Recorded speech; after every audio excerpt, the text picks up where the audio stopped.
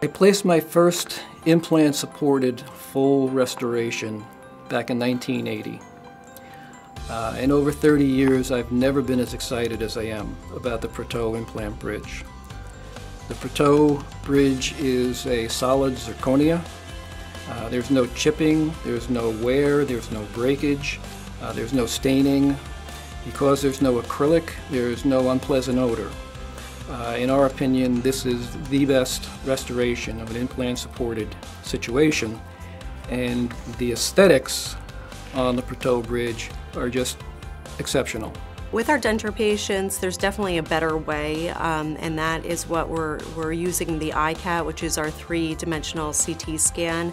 We are using that to plan out all of our cases, um, to evaluate that patient's bone, where to place implants, so that we can restore them with implant-supported dentures, which is going to give them back so much better function. We wanted to have a dedicated surgical suite and a, very, very private, large private area for the big cases that we do so that the patients would have total privacy and, and they'd feel very relaxed.